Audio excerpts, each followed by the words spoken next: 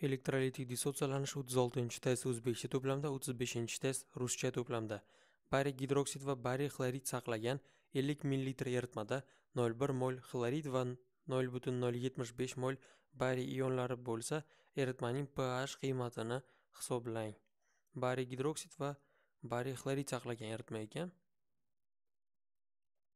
demak bariy gidroksidi eritmada demak asoslilik xossasini beradi bariy xlorid tuzi. Xlor ham kuchli bariy ham kuchli. Neytral muhit bo'ladi. Demak bariy ioni hosil bo'ladi. Ikki plyus ikkita xlor minus hosil bo'ladi dissotsialanishidan bariy ikki plyus demak oh bariy gidroksid ikkita bo'ladi.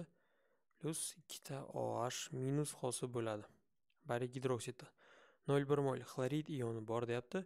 Agar xlorid ioni nol bir mol bo'lsa nol bir mol bo'lsa bu yerdagi bariy nol butun nol besh bo'lishi kerak bariy xlorid nol butun nol besh bo'lishi kerak nol butun nol yetmish besh mol bariy ioni bo'lsa nol butun nol yetmish besh nol butun nol beshi bariy xloriddan kelyapti nol butun nol yetmish besh minus nol butun nol besh qolgan nol butun nol yigirma besh bariy nol butun nol yigirma besh bariy qayerdan bariy gidroksiddan kelishi kerak nol butun nol yigirma besh ko'paytirilgan ikki ya'ni bir moylidan ikki moyl to'g'ri keladi. Bu bariy ikki plyusdan bir hosil bo'lganda e, gidroksiddan ikki molekula hosil bo'ladi. Nol butun nol besh bo'ladi konsentratsiyasi oh ionlarini.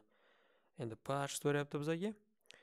Ellik millilitr ekan eritma nol butun nol besh mol endi nol butun nol besh mol oh ionlarini konsentratsiyasini topishim kerak.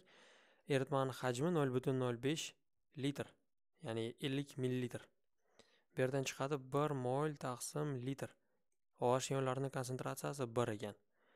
Endi birni minus logarifm bir qiladigan bo'lsak nol chiqadi bu poh poh nima uchun? Chunki oh ionlarini konsentratsiyasini logarifm qildik. Endi ph degani bu oh bilan ph qiymati poh bilan ph qiymati o'n to'rt bo'lishi kerak. Demak o'n to'rtga nolni qo'shsam o'n to'rt bo'ladi. D variant bo'ladi ph qiymati o'n to'rtga teng bo'ladi. Yoki shunday hisoblashimiz mumkin 14 minus 0 barobar 14 ph demak d variant bo'ladi.